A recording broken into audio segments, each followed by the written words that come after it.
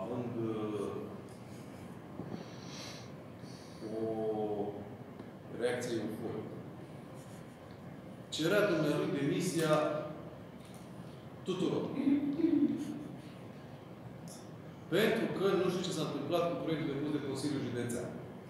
Referitor la proiectul depus de Consiliul Județean privitor la centrala municipiului Târgoviște, acesta este în momentul de față în evaluare. De fapt, contestația formulată de noi este în momentul de față în evaluare. Părerea mea, și am mai spus lucrul acesta, că administrațiile locale au dreptate în legătură cu acest subiect.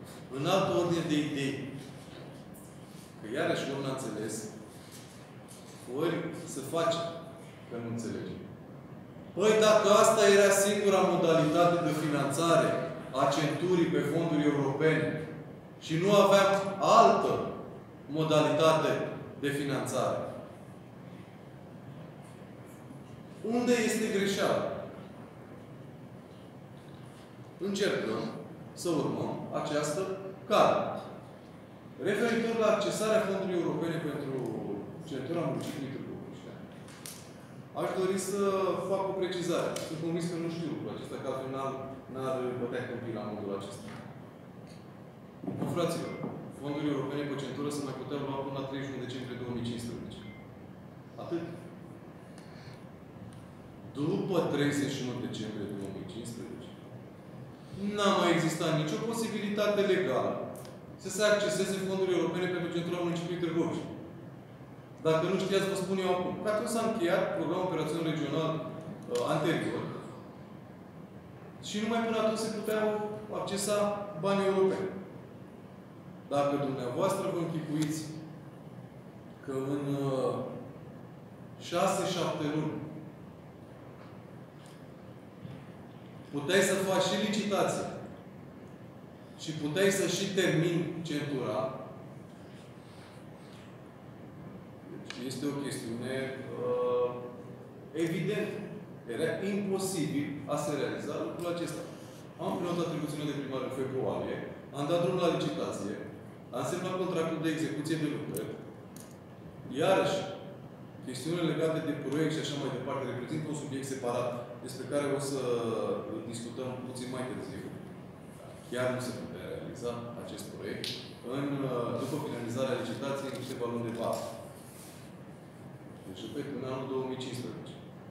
Acum se raportează posibilitatea municipiului de a accesa fondurile europene pentru centură și există această cale pe care încercăm să o urmăm. Și cu privire la care chiar nu cred că s-a înțeles, chiar nu cred că s-a înțeles mai lucru și a trebuit să mă duc eu în plenul Consiliului Județean să convin consilierii uh, locali, uh, consilierii județeni liberali să voteze un proiect de hotărâre important până la urmă pentru toată comunitatea. Nu pentru administrație, nu pentru uh, altcineva. Tot legat de centură. Se pare că domnii de la PNL sunt foarte preocupați de faptul că trebuie returnați niște bani.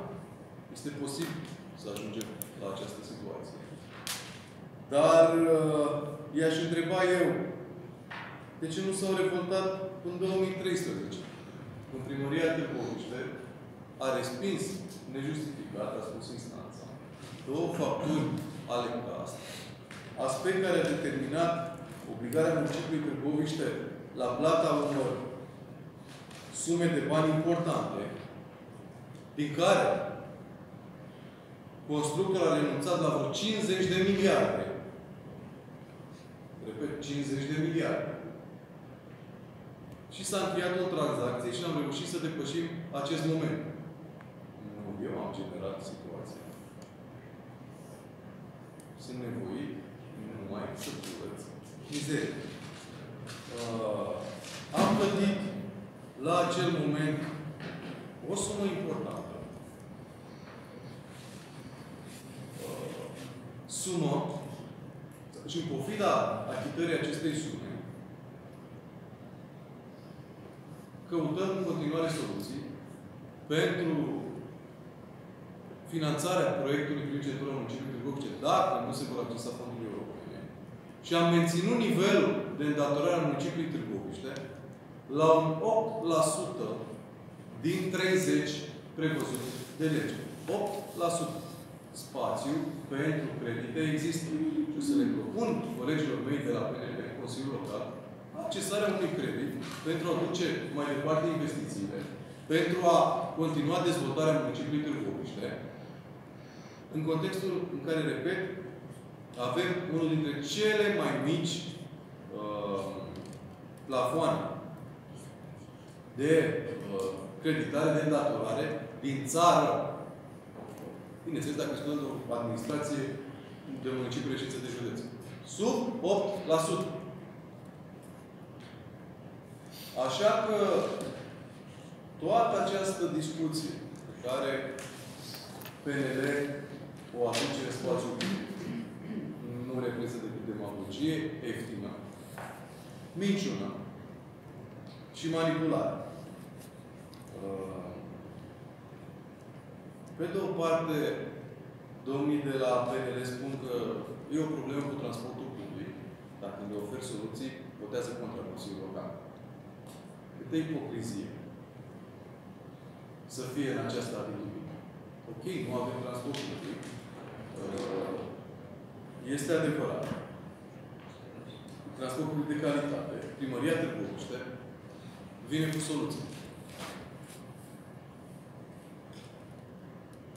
avem acordul cu AITP, dacă domnii de la PNL vor fi de acord, începând cu luna martie, primăria Târgoviște va face direct transportul public în acest oraș. Sigur că nu vor fi autobuze noi în acest moment, pentru că avem proiect cu finanțare europeană. Dar vor fi autobuze curate vor fi autobuze care vor veni la timp. Sunt sute, sute de curse nerealizate de AITT în ultimele 3-4 luni. Sute. Situația nu mai poate continua la modul acesta. Uh, suntem uh, obligați ca și administrație locală să furnizăm servicii publice de calitate. Trebuie să înțelegem cu toții că nu e obligat un primar să ofere servicii publice de calitate. Și Consiliul Local e partea administrației locale, ca cea mai importantă parte. Este forul deliberativ de la nivelul administrației locale. Este cel care ia decizii. Uh, și, și cu asta vreau să închid. Sper să n-aud vreun liberal din Grăbovița vorbind despre plenar în campania care